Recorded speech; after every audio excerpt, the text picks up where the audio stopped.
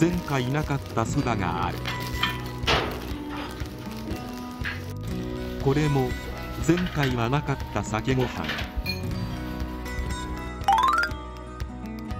新米が美味しくて朝からもりもり食べてしまう。今回はこのホテルでテレワークのため2泊で予約した。